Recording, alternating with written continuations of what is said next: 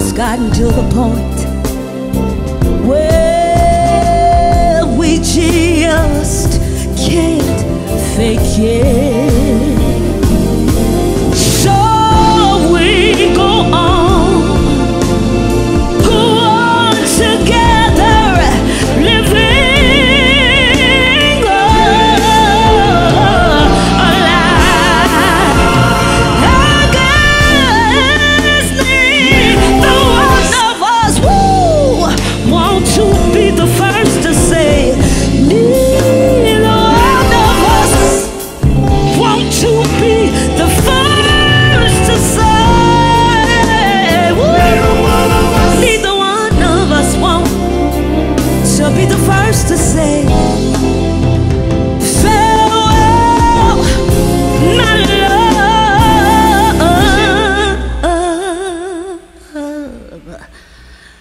Goodbye.